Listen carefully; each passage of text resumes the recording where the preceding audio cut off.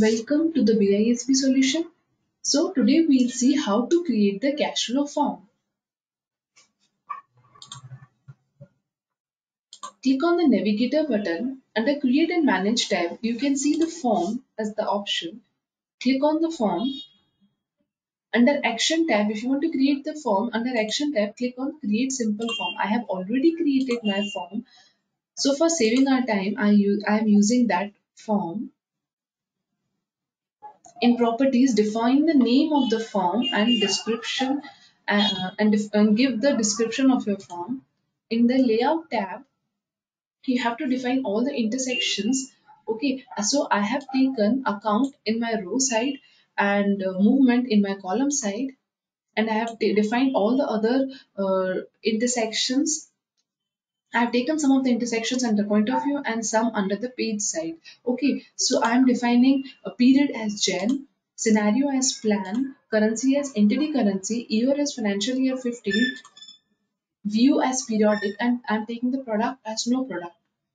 Consolidation as entity input, intercompany as no intercompany, entity C underscore 102, data source as data input, and multi-GAAP as local GAAP. Okay, after defining all these intersections, you have to just click on save and preview.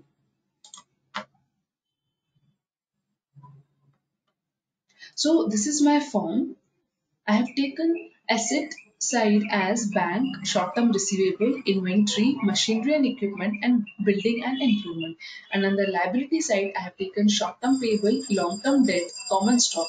Okay, and I have taken total liability and equity and total asset as my parent member so as to uh, see the total amount. Okay.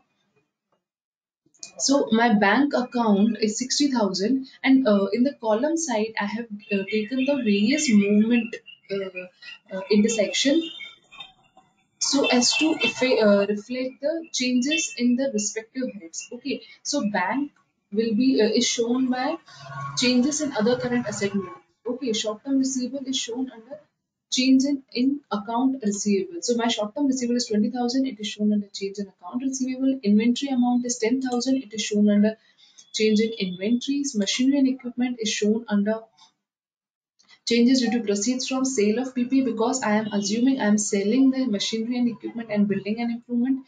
Okay, short-term payable is shown under changes in accounts payable. Long-term debt is shown under changes due to proceeds from debt.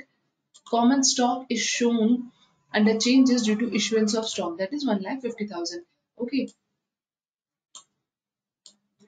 And on the right hand side, I have taken uh, basic uh, this movement operating, movement investing, and movement financing. Why? Because I basically I am preparing the cash flow form. So cash flow form reflects the three activities. That is cash flow from operating activity, cash flow from investing activity, and cash flow from financing activity. So in totality basis, I want to uh, see these activities affecting my operating activity, investing and financing. So my bank, short-term receivable, inventory are affecting uh, my uh, cash flow from operating activity. So this will come in under cash flow from operating activity. Machinery and equipment and building and improvement will come under cash flow from investing activity. Short-term payable will also come under cash flow from operating activity. Long-term debt and common stock will come under financing activity. So my total asset side is 60,000 plus 1,90,000. Sorry, my total liability is 60 plus 190 and my total asset is 90 plus 160. Total liability is 2,50,000 and my total asset is also 2,50,000. So our balance sheet is tallied and in this way I have shown the cash flow uh, activities also like like my operating activities like the heads which affect my operating activities my investing activities and my financing activities so this is how you make the cash flow, design the cash flow form. If you have any doubt, feel free to ask. Thank you.